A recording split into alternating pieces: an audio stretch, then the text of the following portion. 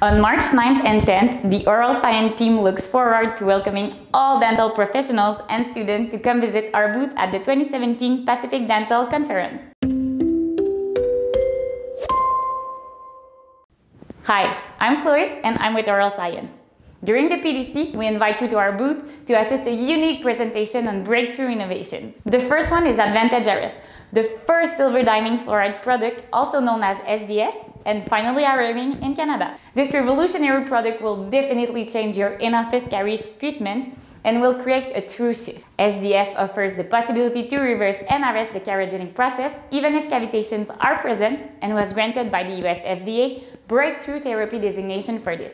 Arresting tooth decay at an earlier stage is so important that SDF was awarded by the US FDA the same classification that cancer-fighting drugs. In fact, it is the only oral care medicine to ever receive that designation.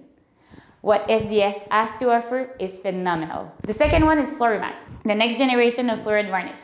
It has a better fluoride uptake rate, has a non-tacky coating, is user-friendly, and will reduce your cost per application. Finally, we will present Plaque HD, the first professional plaque identifying toothpaste that lets the patient see the plaque they have missed while brushing.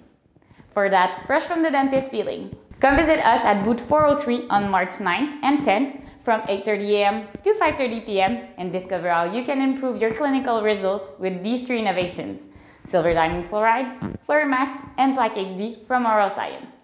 See you there!